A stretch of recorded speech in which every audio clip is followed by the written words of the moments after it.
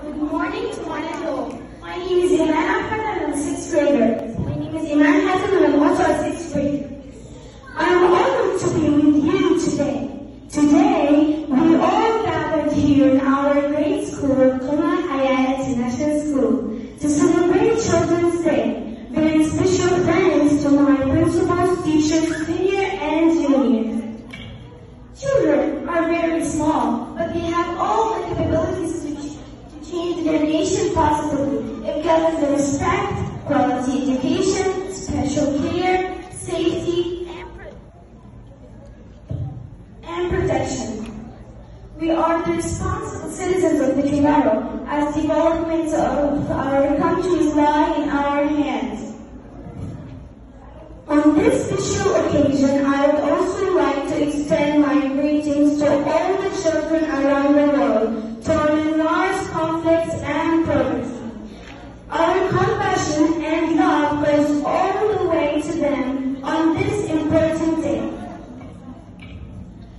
take a pledge to ensure that every child in the world enjoys equal rights, safety, and quality education.